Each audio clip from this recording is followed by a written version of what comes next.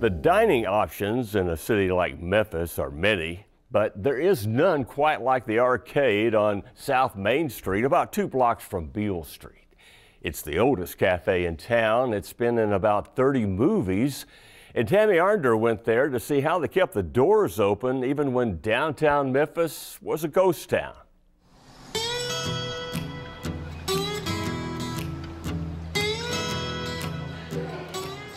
Step inside the arcade restaurant in downtown Memphis and step back into a world where life was slower, cell phones didn't exist, and saturated fat was never spoken.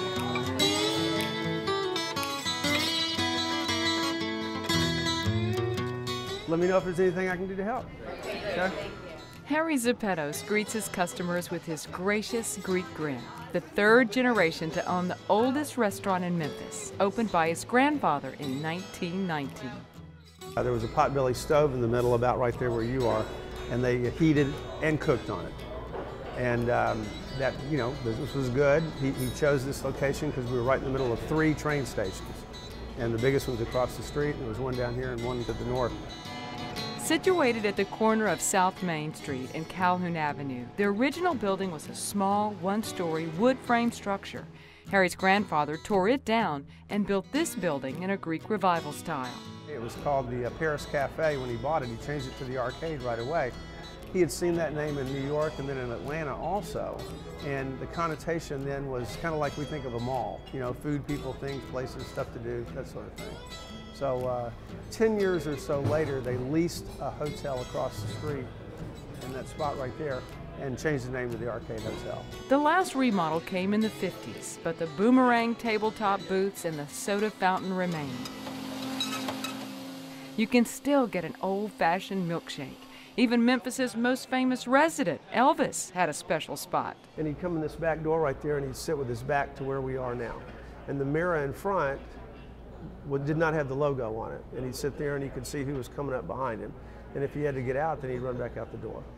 The King's Table is the most popular among out of town guests, like these three ladies who came all the way from Corsicana, Texas.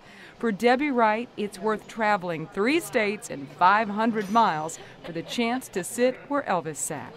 Well, we're just big Elvis fans, and you feel like a little bit a part of him and what he experienced, and his day-to-day life. That you know, he was a very famous person, but he was an ordinary guy like all of us. just like us too. You know. Well, what about the food? Oh, was great. Oh, it's great. He had us the best breakfast. Besides the biscuits and buttery pancakes, there's also a blue plate lunch each day. Lima bean, mashed potatoes. Dave, every Friday we have catfish, you know. Mary Dyer has been a part of this kitchen since 1958, making sure that customers are fed the most fabulous Southern fare they've ever tasted. The food has been consistent and kept customers coming in, even through the lean times. From the Depression to the assassination of Dr. Martin Luther King Jr., which happened just a block away. Harry's grandfather was told to shut down the restaurant just after the civil rights leader was shot in April of 68. National Guard had been called in. I don't think they were there yet, but the place was crawling with folks. You know, you can imagine. And uh, they, they, and so he went home. And then they woke him up about five or six that morning, only an hour or two or three after he'd gotten there, and said, "Would you come back and open up? We've got it. We don't. We, we need food." When the National Guard left, the once thriving business started to struggle, but the Zepatos family managed to hang on. And with the rebirth of Memphis's downtown, the arcade has become one of the city's most popular dining destinations. Harry believes it's because he offers a different experience.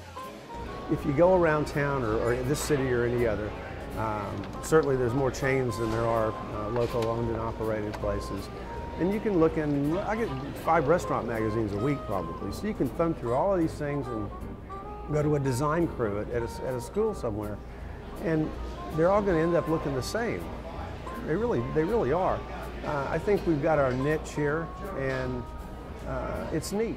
With such a nostalgic feel and an authentic 1950s look, the arcade has been seen in more than 30 movies, from Walk the Line to The Firm to Great Balls of Fire.